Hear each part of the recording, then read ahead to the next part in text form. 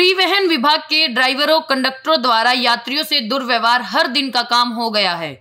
इन बेलगाम चालकों, परिचालकों के समक्ष मुख्यमंत्री तक के आदेश मायने नहीं रखते। वे न तो किसी आदेश की परवाह करते हैं और न ही नियम कायदे को मानते हैं। अब इनकी बेअदबी की शिकार बेचारी एक मासूम छात्रा हुई है। उन्होंने बेचारी छात्रा को कॉलेज से घर आते समय बस में तो बैठा लिया, लेकिन गाँव के बस स्टैंड पर उसे उतारा ही नहीं। इस पर बहस भी हुई, लेकिन इन पर इसका भी कोई असर नहीं हुआ। मैं महेंद्रगढ़ से अपने गाँव आ रही थी, तब मैंने कंडक्टर को अपने गाँव उतरने के लिए बोला तो उन्होंने मेरे साथ बदतमीजी की और उन्होंने यहाँ पे बस रोकने से भी मना कर दिया। क्योंकि उन्होंने पहले तो बोला कि ये बस जो है वो लंबे रूट की है, लेकिन जब उन्होंने जाट रोका बस को तो मैंने उनसे कहा कि इस बस को आपने जाट क्यों रोका अगर ये लंबे रूट की है? तो फिर उन्होंने दूसरा एक्सक्यूज दिया कि आपके गाँव में कोई बस स्टैंड नहीं है। तो बस स्टैंड तो हमारे गाँव में तभी बन गया था जब मुख्यमंत्री जनसंवाद में हमारे गाँव वालों ने, गाँव में बस स्टैंड बनाने के लिए बनाने की जब मांग की थी लेकिन बस बस के कोई भी ड्राइवर कंडक्टर ये नहीं मानते कि हमारे गाँव में कोई बस स्टैंड है। जब भी उन्हें, हम बस स्टैंड पे उतरने के लिए बोलते हैं तो वो फिर बुरा बर्ताव करते हैं और बदतमीजी से बात करते हैं। मैं 12 दिसंबर को जब अपने गाँव आ रही थी तो उन्होंने तब भी मना कर दिया।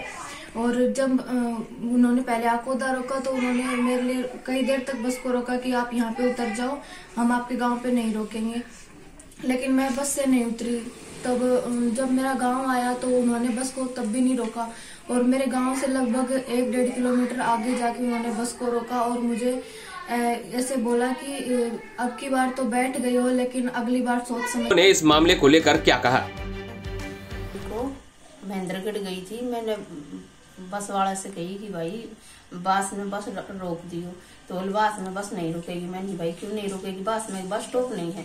बोले बस स्टॉप है या ना है, पर बस ना रुके। मैंने भाई, आदेश है मुख्यमंत्री का। मुल्की में आदेश ना?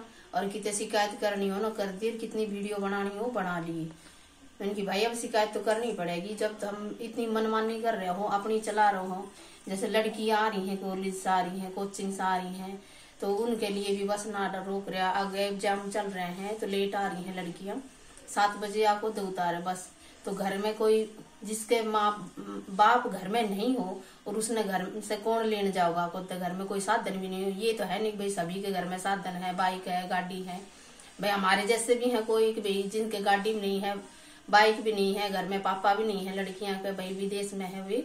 तो लड़कियाँ कौन लेने जाओ मैं ये सो, सोचू हूँ कि मंत्री है प्रधानमंत्री है योजना चला रखी है बेटी बचाओ बेटी पढ़ाओ।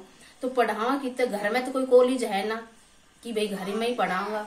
पढ़ने के लिए भी बाहर भेजनी पड़ती है लड़कियाँ। भाई सब सुविधा सरकार ने कर रखी है तो उन पे इसी सीना चोरी दिखा रहे हैं कि वो क्या करें? बोले, एक तो चोरी और ऊपर से सीना चोरी।